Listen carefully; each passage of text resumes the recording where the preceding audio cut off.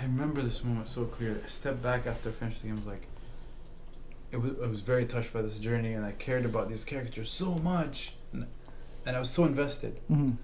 Because what's powerful about gaming and interactive the experience is allows the, the player to have ownership Yeah, or um, agency yeah. in the, the story that they're telling because they're in control of it. So It's their own decisions. yeah, There's their consequences. They they they, they have owner.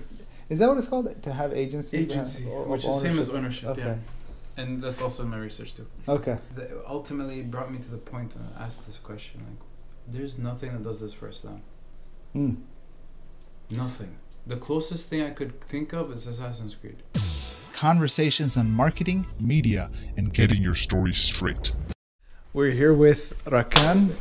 He's got his uh, digital portfolio. here I have under work I got illustration animation typography 3D modeling and visual effects some film uh, this is my master's thesis. I put a lot of stuff in there. This is my old work. Rabi uh, Arba? Rabi Arba, which was my un- my Unity ID first for university. Okay, and then myportfolio.com. gotcha. See, when I was talking about like taking the Falcon Did you see the movie Bilal? Yes, Yeah. I did. Beautifully well done. It was it was weird because it's like some of the scenes are so photorealistic, yeah. and then but the, characters, is just like very stylized. yeah. But I just felt like they could have. I don't know, man. I personally liked the Well, I- direction they took. There. I, I felt like it was like I had to. It's funny. I had to think about like oh how to train your dragon, yes. Right? Like that's the like there's a lot of photorealistic scenes in there, Mhm. but the characters are their own design. So let me show you this book real quick on understanding comics. He has Uh-huh. a trilogy on writing comics, Yeah. and the whole book is written in comic book style. Nice. But in this book, he talks about elements that make comics work and make them not work, and how to flow flow through panels and such. And, okay. And the type of storytelling that. Can Oh, he's got he goes technical, huh? Yes, he goes very very technical. He gets to a point where he talks about art style. Here we go. Yeah. This is the triangle. Okay. Oh God. Uh, one one edge is super stylized, real. Sorry, super realistic. yeah. Um, and Oh, he one, put himself in the triangle. yeah, this is more uh, One- abstract. And One Punch Man is the other end. Oh, I love One Punch Man. Oh my God, I watched it three times. Over. Dude, I got introduced to it by my wife because she's a huge manga fan. Really? But, but did you get introduced by the manga or the anime? No, so uh, so she first uh, showed me stuff from the manga. Yeah. Then she had me watch the season one of the anime, right? And then as a gift, I bought her the first ten volumes. Holy crap! she must have been really happy. Yeah, no, but I was surprised the artwork in the manga looks so much better than the anime. It usually is the case. I was just like, wow. And the anime was really well done. Yeah, that was really. beautifully animated. Yeah. The manga is also it's brilliant. Different art styles convey different things and have different strengths. So when we're talking about Bilal, for example, the more stylized you get, the more universal you become. Oh, okay. And so people from different backgrounds can relate to that Is, is that why Toy Story, not Toy Story, but Pixar yeah. has a very stylized character design? hmm As Always, all, Okay. all, that's the power of animation, versus like Final Fantasy. Which becomes super realistic. And Yeah. if you do that, what happens to y- the, the, the player being able to relate to that character? You lose a lot of that, Okay. and they be, have more of their own identity. Okay. But when it comes to environments, Yeah. like trees and mountains and like buildings and cars, um, it research shows that it doesn't matter how stylized or how photorealistic it gets, it won't affect. Affect the emotional. uh, No, not necessarily. Okay. That's why with the new Toy Story movie, it's so photorealistic, Yeah. but the characters are still Yeah. very much like the first movie. Very cartoony, kind of. So there's the strength in that. Uh, I'm glad you were able to point that out or, or recognize it. What is fine art? Uh, uh, fine art would be more traditional art, Okay. typically. Anything that's So- physical. Okay. Tangible. Yeah, paintings, uh, even sculptures as well. Photography. Photography could be considered fine Okay. art. So long as there's a printed aspect to it, I mean, yeah, I guess so. right? Yeah. Because if it's just digital, never printed, is it still fine art photography? Mm, people wouldn't necessarily consider it. Okay. I mean, you can bend the meaning. But Yeah. Fine art usually refers to more mm, traditional Okay. of art. So this is stuff that you did hand, Mm-hmm. and then you took a photograph of it, Yeah, I scanned it. It's all, Okay. I mean, I would love to go So back. how would you like that photo, right? Which is right here. How would you scan that? Is photo, this photo. okay? You would actually take Yeah. a photo. But it, it's okay. very rough. You can see the you see the corners right there. yeah. It's, so the angle's not right. The the light and the coloring is not right too. Okay. If I was to go, I did this back like a yeah, long yeah, time yeah, ago. But if I was to do this again, it'd be much better. I love this one. It's back here. yeah. What is that watercolor? Yeah, it's watercolor. I did this. But how do you get it to stay within the lines? Oh, um, you can pre-create those lines with water. You can create that space w- while washing it with water alone. Okay. And then you can dip your color in that. There's so many different strategies to approaching. Nice. color. And I'm guessing this was around the same time Yeah, with Savannah. this is like my first time painting in years, and that's when I heard back from. It's the Japanese aesthetic that College. always, always, uh, um, uh, I found to be very beautiful. And then here's your. Yeah. So what I was saying, I was mentioning to him, I was like, you know, you don't have to quote unquote finish it because it's like It's a concept piece. Yeah, the concept piece, right? This is the part that's in Assassin's Creed world, and just put some dot matrix stuff here to make it look like he's still The animus. The animus, yeah. all the way here. So the other thing I was wondering about is the Celtic Arab video Yeah. game, but there's two characters there. One is Celtic and the other is Arab. Mm-hmm. My master's thesis was like 80 pages long. Oh, you actually had a write up too. I wrote an entire research paper. Okay. I give you some outline, like introduction for my purpose, my theoretical frameworks, my the, so the theories I base upon Yeah. moral reframing, po- uh, choice poetics, Yeah. and gamification of learning. These Okay. three theories are fundamental to my project. And then I go into a little bit of um, some supporting theories that are outside the realm of design. Yeah. From like from uh, anthropology, from sorry, cultural anthropology, uh, cultural anthropology. You have English uh, mythology. Um, I also referenced Islamic teachings. Anything outside design, and I mentioned some of these. we got uh, the whole um, Joseph Campbell. Yes, definitely research Yeah. Joseph Campbell and his um, uh, what's it called, hero's journey, Yeah. And basically structuring a story and the, the typical structure, the universal structure of of myth. Did I myth. did I ever share with you the uh, the, the story analysis of Surah Yusuf in comparison to the You Hero's. Journey? Okay. You did, you did. Beautiful, very well said. I've got more. I'm sure you do. There's so, so much. yeah, there's so much more to it. Yeah. And this is why it resonated so much with me because I everything I tried to relate to like prophetic stories and Yeah. the way Allah subhanahu wa ta'ala shares the journeys of these prophets. yeah. Follow these steps and make it so universal and re- resonate with us as humans. The one thing that I'm that I'm that I've started kind of exploring in my mind recently is how and I have, I have yet to find it, but like comic relief, for example, Mhm. is a major thing that's necessary in presentation today. And I was thinking to myself, is there a level of communicated lightheartedness or comic relief within the stories of the Quran? Mm-hmm. I don't know. It'd be good to to think of. And if so, there's a reason why Allah would share it. Yeah, like there's plenty in the from the Sirah. Yeah, right? Of course. But I'm just wondering within the The actual Quran. yeah within the Quran itself. That would be interesting to look into. Using this, Joseph Campbell and and modern mythology. I use this. Oh, is that what that means? Monomyth Yeah, the monomyth is is modern mythology.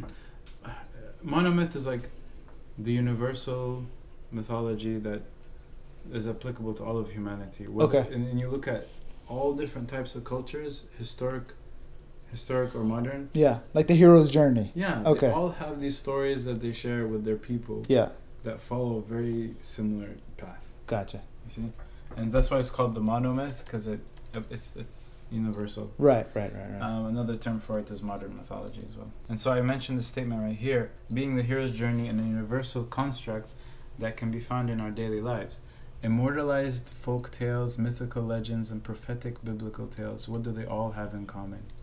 In identifying the construct of stories and their heroes, it helps us realize how it can be both universal and extremely personal and intimate. I really enjoyed researching this stuff. and I can see that. it, it brought so much life to what I'm trying to do here. Banner Saga is a very similar format I'm trying to follow. Yeah. I'll show you some images of Banner Saga. Oh, you know what? The aesthetic of what you're showing me Right here. is very similar to what you did. Yeah, I was heavily inspired by this. Oh wow! So and this art style. like I would have thought that this is the same thing. No, see. Okay. I that's a compliment. Thank you. Um, what Banner Saga did, their art style Oh, is this is following beautiful. An artist by the name of Eyvind Earle. This is so. It's a ski resort. Yeah. it's just like I see that. So the It's like- setting is uh, Nordic. So Okay. so these are all like Viking kind of people. Yeah. It's all hand drawn animation, which made it stand out from the rest of video games Yeah. of its time.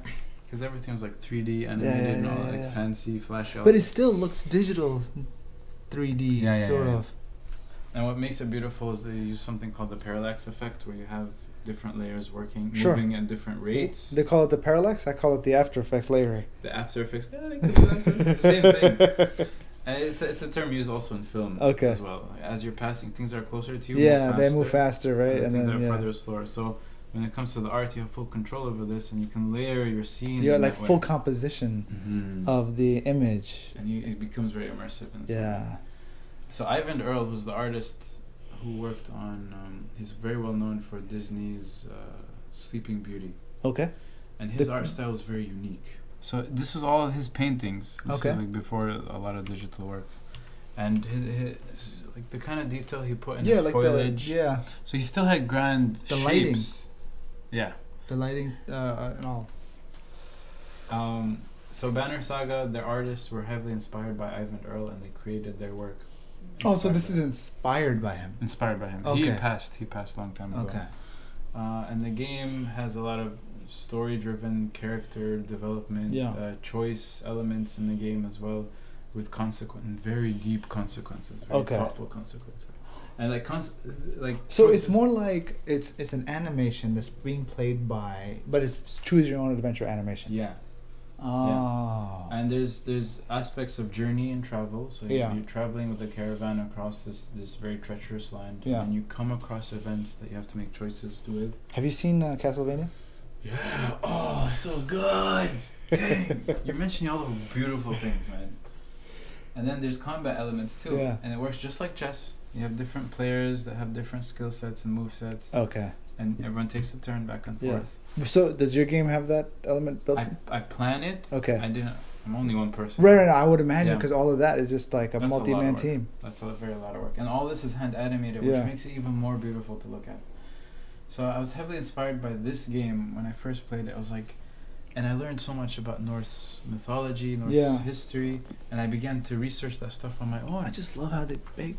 You have the foreground, yeah, you got the midground right there, and then you got the extreme background background. over there. And I would imagine this is all animated, right? Yes, yes. Oh. it's so beautiful. And I was inspired by what it did for Norse mythology. Yeah. And I told, I, I remember this moment so clear. I stepped back after I finished the game. I was like, it was, I was very touched by this journey, and I cared about these characters so much, and, and I was so invested. hmm Because what's powerful about gaming and interactive ex- the experience is allows the, the player to have ownership Yeah. or um, agency Yeah. in the, the story that they're telling because they're in control of it. So It's their own decisions. yeah, There's the consequences. They they they, have owner. Is that what it's called? To have agency. to have- or- which is same as ownership? ownership. Okay. Yeah, and that's also in my research too. Okay. that ultimately brought me to the point when I asked this question like there's nothing that does this for Islam Mm. nothing the closest thing I could think of is Assassin's Creed Like here's the thing. You look at this. It's Nordic, right? mm-hmm. All right. You know, it's Nordic. You might not. Most people may not know where that is. Maybe they have this idea of European. yeah yeah But after going through this game, it doesn't feel foreign. no You get what I'm saying? well said And so, Well whereas the thing is, most Muslims outside of the African American population, right, they come off after foreign. after three generations now. mm-hmm. They can still come off as foreign. Mm-hmm. And I think that's the key thing here is to make cultures cultures less foreign. And I think the dean that the people follow of these various cultures becomes more. but without the expense of, of compromising that identity or uh, assimilating to the point where you lose Well, I'm not talking about assimilation. yeah And this is a whole different thing. uh, And, I- it's and I- representation just like you represent yourself in all forms right, right, right. And and like the one the, the Islam part is one layer of one's identity. True. True, Right? true, true. because Islam will determine the ethics to follow hmm within all the other aspects of a person's identity. Very well articulated. yes. Exactly. So, but at the same time, people shy away from other layers of their identity Mm-hmm. because they feel either it's too foreign for themselves Or for others. or for to take. to take in or whatnot. Mm-hmm. But then you see the effect of a fictional foreign identity Mm-hmm. of Wakanda. Yes. right. right. Yeah. Uh, but it becomes less foreign. Again, it was inspired by real Yeah. cultures, but still, it's totally fictional. Yeah. And the type of impact that it had on people was amazing. Yeah. I, I, I lived in Kenya for six years, and um, the the female warriors that They're like were Kenyan. Masai Masai warriors. They were Okay. Kenyan Masai warriors uh, dressed very similar. They behaved the same very similar way. Yeah. It was pretty awesome. Very strong personalities. Yes. Yeah. Oh my god. The, the women are strong warriors and the men are fast runners. yes. With regards to the thesis, uh, a lot of my thesis artwork Yeah. is in illustration. So we'll look at that real quick. Oh, I'll there you show go. some That's the uh, book. that's the graphic novel you first showed me. I remember sharing that. with You You were like, "Whoa, was that you?" I was like, "Yeah, that's me, man." I was so excited to share it with you because I knew you'd appreciate it. So I ti- I titled this piece "Taming a Barbarian." I, I was just like, yo, where's the rest of the story? It's four pages. That's it. Yeah. It took a long time to do too. I I mean, it looks like it looked like it took. There were, like the actual story writing and defining your characters. Yeah. That took up. like I'm sure there's so in your mind. Mm-hmm. There's probably so many layers just behind these characters. There's there's there's. People who see something like this, right away they're thinking Marvel, DC. Yeah. They're not thinking about the breadth of the medium. Mm-hmm. Very true. But look look at Will Eisner, Yes, oh, I love his work. right? But like that guy didn't do superheroes except for the spirit, maybe. It was just like real real life. Yeah, like his whole thing was to showcase this medium as a legitimate form of literature. Mm-hmm. Mm-hmm.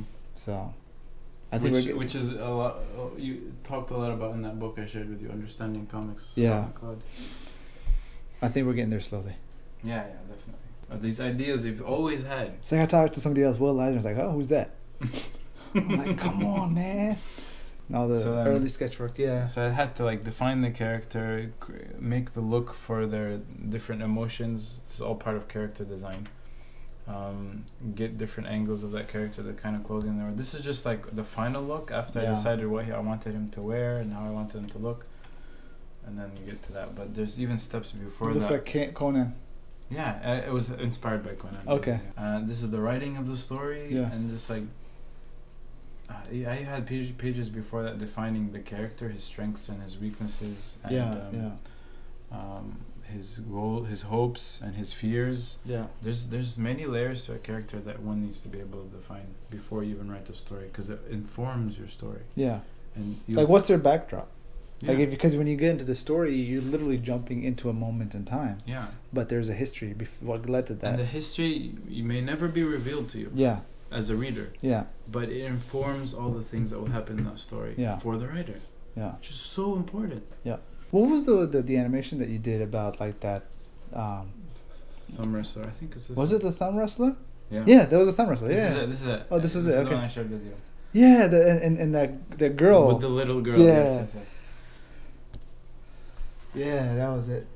I had so much fun doing this. This was entertaining to watch. Thanks. I would love to fully realize the story.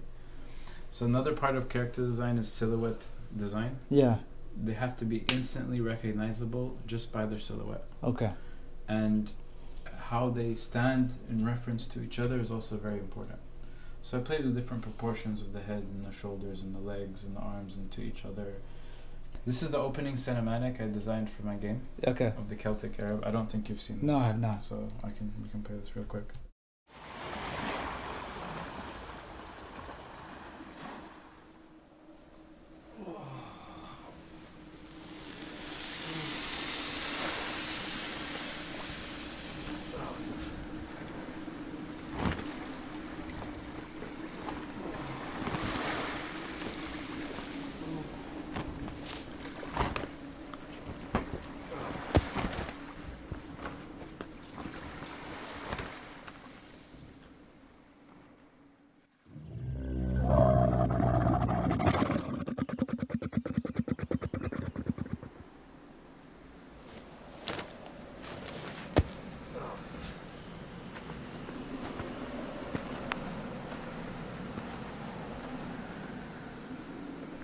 No idea who who you are, how you ended up here, who's this guy, what's happening to him, Yeah. why am I here? So It's like uh, I remember the opening scene of uh, uh, in Inception.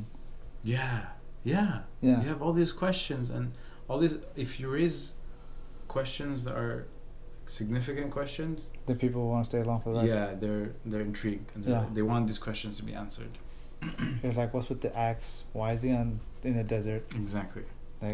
What did he? Who did he piss off? so we'll, we'll get to this point after. That's part of my thesis right here. So Okay. opening cinematic for my game. Um, jumping ahead, I did some work for The Alchemist. Oh, the Book. the book. Yeah. Yeah. We were. I read that book in a day, and I was so disappointed Why? because the guy went on an acid trip two thirds in the way in, right? With the wind and the, yeah, all of that. I was just like, what is going on here? I'm like, I, I, I wish they at least said like, oh yeah, he definitely got drugged up or something. That is that, that that's the scene. That's the scene, yeah. The acid trip. Hey, you got an A, right? we were, so this class was uh, visualizing narrative. Mhm. It's all about typography and Okay. using typography to tell a story. Okay. So this this project was about looking at illuminated text. Dude, it would make it's so perfect. The alchemist goes on an acid trip. That's the whole underlying story. Yeah, that's the whole under- underlying story. To be able to tell a part of the story with just a letter, so Yeah. here's the A as well, Yeah. and to tell elements of the story like this Oh, is uh, th- th- th- this is right here is uh, a little bit of a spoiler though. It is kind of eh, not really. I mean, we know he's a shepherd early on. Right, but like the just the whole pyramid factor, and then well, it doesn't give up, give away the Spain origin. Wow, I'm sure you love that part of the story. I think the most memorable part was the part where they would serve tea to the people that would make it up the hill, In Morocco? Yes, yes, yes. and I was like, I want some of that tea. yes, yes, yes, yes. so here's some animations of the character. Yeah. So this character's name is Ivan. He's the main character, the protagonist of the story. Okay. Um, I wrote him as a crusader. Okay. Really? Yes. But So a Celtic. See, I did had to do some research about Okay. this, and apparently there was a small number of Celtic warriors who joined the crusade, Interesting. the first crusade, like in ten nine. Have you seen The Seventh Seal? That's a movie. It's uh, part of the Criterion Collection. It's the story of. Um, so this is death, and it's during the time of the Black Plague, and Crusades. Right, Oh, I'm already and a, and a Crusader is the one who's playing a game of chess with, death. And right here. and one of my one of my yeah, one of my dreams is to retell the story in modern context. Mm. Is it a scene I c- would you recommend I watch the scene or the whole movie? No, the whole thing. Okay. Yeah, watch the whole movie. Okay, I'll keep this up. So, his story is that he's a crusader who wants to seek redemption. He's always been recognized as an unbeatable warrior who's strong and powerful. He has a, tr- a, a tragic background, Sure. which slowly unveils itself as you pass through the story. He tries. To, I, I like to tell the story because he's a man who's skeptical of God. Ultimately, it becomes a very private and personal journey of a man who's seeking peace Yeah. in, in that. Because so many bad things has happened to him to the, to the point where he questions God. He's like, why did God do this all Right. all this to me? And his journey will help him realize some of the lessons of why this has happened to him and to, to trust in, in God's ultimate plan Yeah. and to be at peace with that. Right. And I think it will speak to a lot of people who have had a lot of turmoil in their lives. And, Sure. And, and to hopefully find peace and understanding that there's a reason behind why everything happens. Doesn't doesn't devalue the or devalidate the pain that Yeah. people go through. Yeah. In But- fact, it, it Acknowledges. acknowledges acknowledges the fact that the pain exists, Yes. and so but the pain is not in vain. Yes, yes, thank you. The Yeah. pain is not in vain. So that's a part of his journey. Now, on his way to the Crusades, his shipwrecks, which Yeah. is what you saw in the cinematic, Okay. um, but unknowing to him, and he's rescued by this nomad Arab right here. Oh, that's so dope. The fact that you can turn go back to that again. Yeah, and then That's a still image. yeah, no, but the- like the way it transitions. yeah, I purposely did that together. That's dope. Thanks. That is so cool. He's rescued by this nomad Arab Yeah, who. and and that looks very similar. Oh yeah, yeah, yeah.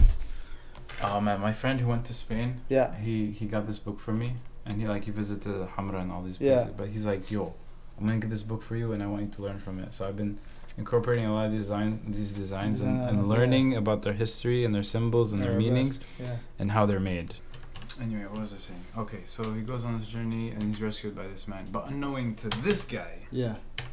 you're the main character, the character you play, Ivan, Yeah. is that you're 600 years late. From the beginning, he perceives Muslims as the enemy. Okay. Okay. Of course, And Crusades, right? And his goal is to fight for God and to fight God. Because he does have an inkling of hope of getting there, Right. despite all his strategies.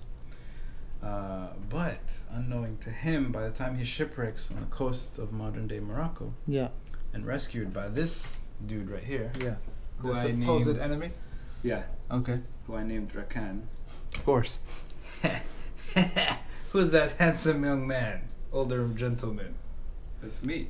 I'm just That's, kidding. that, that's Rakan at fifty. Oh man, he's so. If I could only be that beautiful. Anyway, um, he is. Ivan is 600 years late. He time travels, Oh. unknowing time.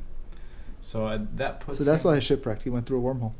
Yeah, very similar to that, which I used based off of a Celtic legend called the Voyage of Bran, which is a whole nother story. Hey, isn't Bran in uh, uh, Castlevania? Yeah, there's a character named Bran. Yeah. He's a vampire, though, right? Yeah, it's Yeah. a different. Okay, different though. guy, okay.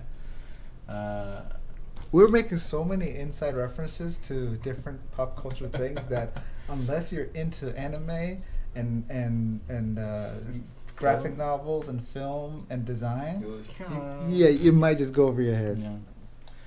That puts him in the context of the Ottoman Empire, Oh, uh, 1600s, so 17th century. Okay, in the, in the height of it, the empire. Yes. Okay. At a time where there's relative peace between Muslims, Christians, and Jews, Yeah, and corruption is slowly seeping in. seeping in, and taking taking hold in the higher ups, which is something I'm planning to represent in the game as well. Okay. Because he, uh, in, in his journey, he eventually becomes a Mamluk. Okay. He becomes enslaved, and he has to. He, he, he has. You have to fight out of that slavery. Okay. um, and that's a whole like it's a turning point in the story. Oh, that's gotta suck, man. Six hundred years in the future. Yeah, and but you don't know this, but small hints happen throughout the journey, and you, your goal is to get to Jerusalem, and then you, Okay. you come to this agreement that this man is gonna accompany you to Jerusalem Okay. from where you are in modern day Morocco, and so it becomes like a brotherhood journey Okay. between these two characters. So he's basically his guide and Yeah, mentor and protector. he does, and he's his eyes through Yeah. the Islamic world, and Okay. should you choose to, as a player, Mhm. you can ask questions and learn about the world and the context and the, and the characters that you're around. Yeah. But what's the motivation of Rakan to guide? Good Uh, point. Yeah. So this man is on his way back to his home, which is not too far from in in Ten. Uh, I forgot the name. of the city. Tangiers? Agadir. Agadir. Agadir. Okay. Agadir in Morocco. Uh, small, so small coastal city off the Yeah. coast of Morocco. But he's planning for Hajj. Uh, so he's already. he's like, oh, I'm already going there. You want to tag along? Exactly, okay, I got you. So that's like the just. He's like, you don't look like too threatening of a guy with that big battle axe. He's like, no, he's confident enough. He can handle himself.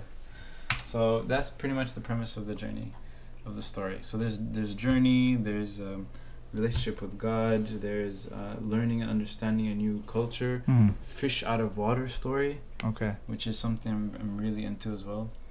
it's a Um, classic story trope that works. Exactly, and Yeah. it works very well. And hopefully, if I open up my game developing studio, I want to create future games that follow that same structure. Yeah. Fish out of water story of a character from a different culture. Have you okay? If you are wanting to learn more about genres that sell, know. two books you got to get if you haven't already. I'm ready. I'm ready. I'm ready. Alright. I'm ready. I'm ready. I'm ready. I'm ready. One is Save the Cat. Save the cat. Yes. Okay, so you were saying. Oh, I was saying the second book Yeah. Oh, sorry. is uh, Save the Cat goes to the movies. Is this the second book Yeah. Other than Save the Cat? so Save the Cat is basically goes into the I think eight or nine uh, most uh, best-selling genres in uh, film that also translates to other movies and whatnot. And Save the Cat goes to the movies goes in depth into the various case examples of those genres and the variations of it.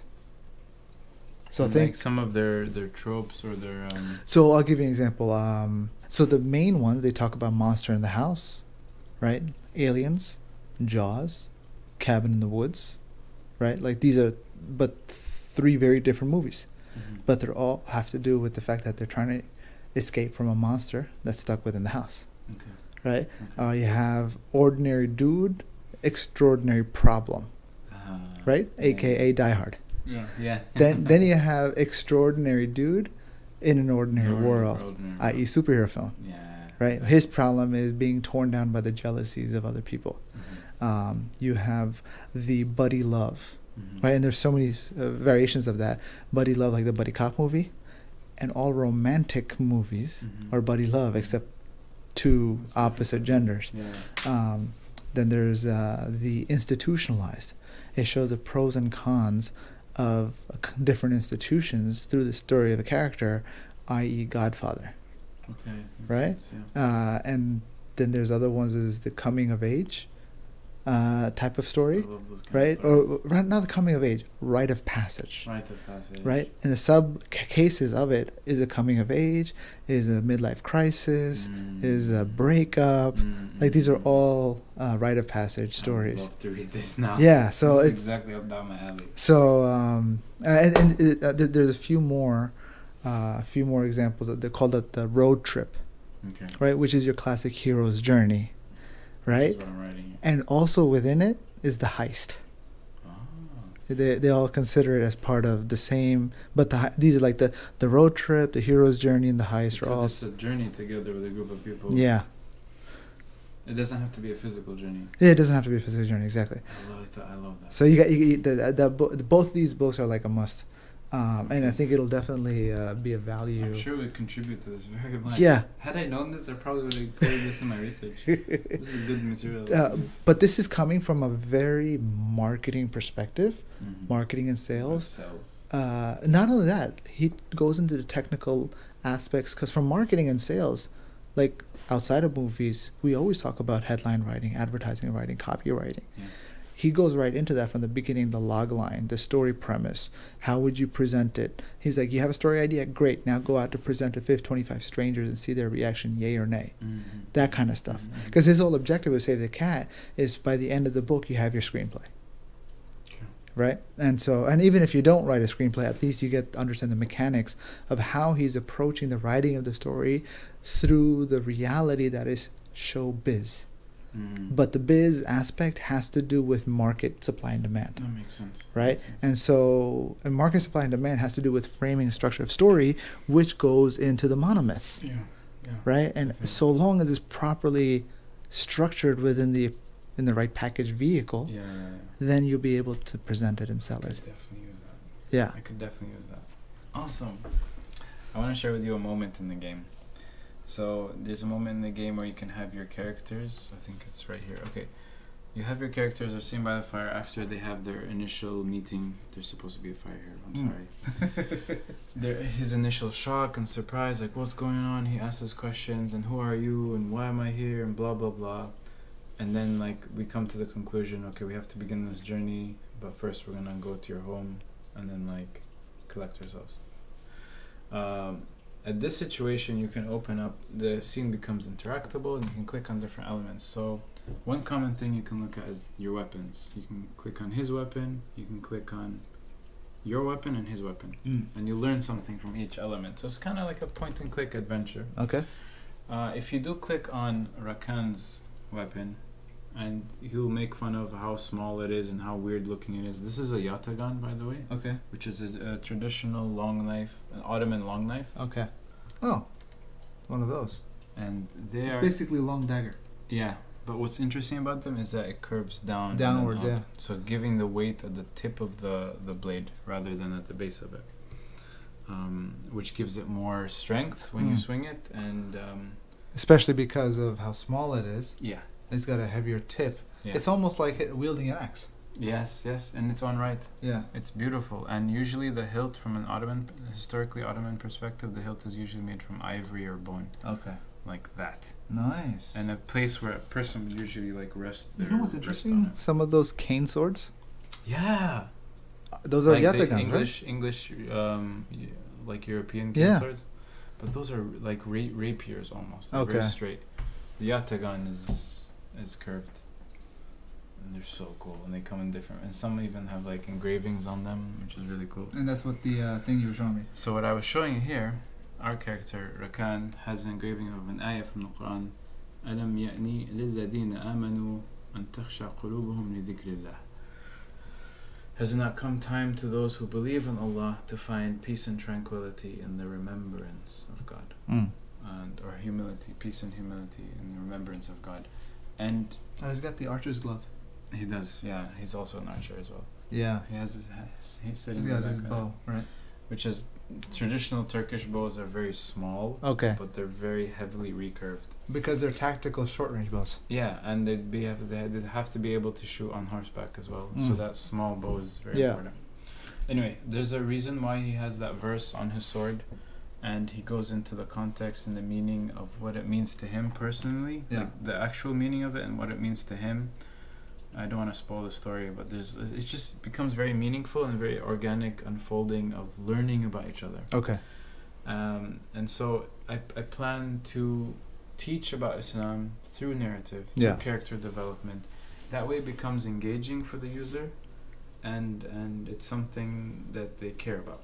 Well, things what you're doing really is you're teaching people about this character who happens to be Muslim. Yeah, Right? It's not like I'm teaching you Islam. It's not preaching. Which is not which is exactly what I try not to do. Yeah. Because coming from a teacher's perspective, Yeah. I, I taught high school science. It gets so boring when you're teaching one to the black and white of things, the facts of things. Yeah. But when I turn this into a story, it becomes so much more interesting and more memorable. Yeah. Because at the end of the day, it's not about who he is.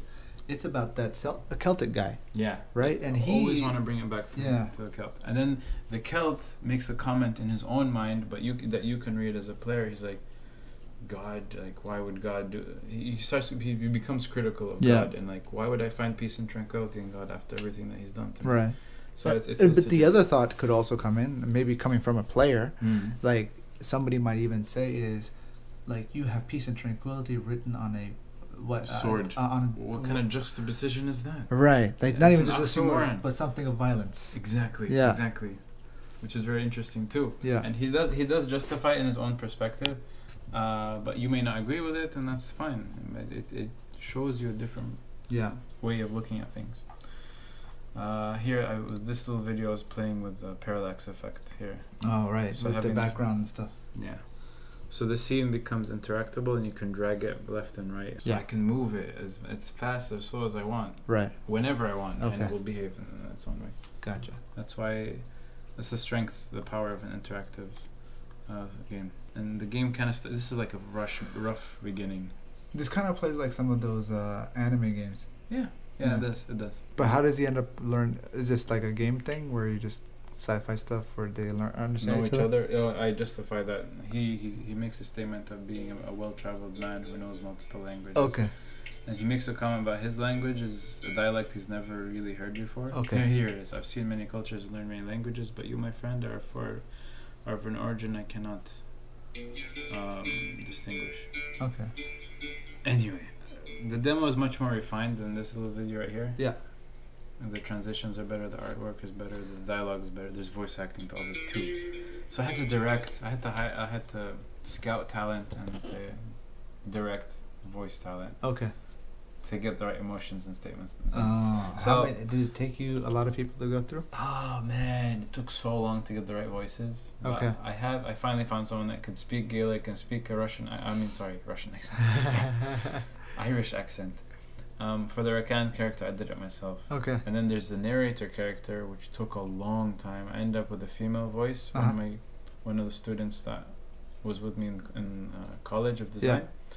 She, Now is that where we go into the next character? oh, this girl character is a potential character in the future. Okay. Um, she'll be the wife of Rakan. She okay. Seems a little young. she looks like a fighter. Uh, she could. She. I don't know. She I would say she looks forty. I don't know. Uh, some people made the comment. They said like she looks so young for this man. Like, oh, how could you do that? I was like, okay, whatever. But I was thinking maybe a healer Maybe, character. maybe she ages gracefully. Yeah. People in North Africa age beautifully, man. So this is all hand drawn though, right? All hand drawn. Uh, this is digital. This is but you painted it or you hand I drew it? painted digital as well. This is why I'm trying to say if I did your thing again. Yeah. Because this is way better than the way. What I sent you, I'm so sorry. I'm so aware of how bad it was. It would be much better if I did it again. I, I like how you have like the depth Uh, yeah, I layered this as well, yeah. and you can see here. Yeah, I did it in pieces. So first it started as a sketch, Yeah. and then I add the flat color. But that that pencil sketch was on the computer. this is also computer. Wow. You can use there's different brushes that have different textures to them. Okay. This is all computer right there. Um, thanks. And then uh, you add the flat color. Yeah. I did a little bit of highlight here, and then you add the lighting. Yeah. So this is what we call rim lighting to give Yeah. the, the highlight to it. And then you add the lighting. So there's the light areas and the sh- shaded areas. See the difference? Yeah. Pops. the then I- difference between um, shooting you here, right here, right now, and then getting like some key studio lights and lighting. stuff. Yeah, Yeah. I know exactly what you mean. So that's pretty much most of my research thesis. That's all under animation. Typography is another small thing. I worked on titles for the Celtic Man, era. typography's hard. It's so hard. I did this quote by Paulo Coelho Yeah. and then this quote by Yasmin Mogahed, Okay. just to, juxtaposing definition of love. Yeah. So, and I screen printed this and I layered them on top of each other. So Paulo Coelho says love is an untamed force. When we try to control it, it destroys us. When we try to imprison it, it enslaves us. When we try to understand it, it leaves us feeling lost and confused. I intentionally left this space to Yeah. give that feeling of lost and confused. But then Yasmin Mogahed, on the other hand, says your life is nothing more than a love story between you and God. Nothing more. Every person, every experience, every gift, every loss, every pain is sent to you, is sent to your path for one reason, one reason only, to bring you back to Him. Which I found very beautiful. And I liked how they perceived love to be very different things. That was the purpose of this project too. And I had to come up with concepts of how I'd layer them. Yeah. I ended up with something more perpendicular. Then I did a short story too. Oh, this is this is good. What is lost and gained? Yeah, this is a story about what if the world adopted a unifying language, a single language. Have you seen that movie with um, Hawkeye and Lois Lane? Oh, uh, oh, this is new. No, I haven't seen this yet. Okay, so you talk about universal language, Yes. and and you appreciate science. Yeah, of course, man. Okay, then you would, and you like time travel. Great. Obviously. Boom. That's all I can say without spoiling too much. Okay.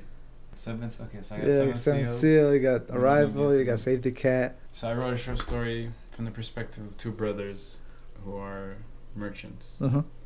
Uh, one wants to keep their own personal language. The other one wants to adapt and change and like abandon his culture and just focus on this to reach a bigger market and to make. Right, right, right. But it begs the question like our identity, our culture, our preservation of it. How important is it? It's a short story, but Yeah. I use typography to tell the whole story. Oh, It's really cool. Overly theatrical or melodramatic. And then this one's disturbing, horrifying. they both seem like derivatives of uh, Helvetica. Helvetic. Ooh.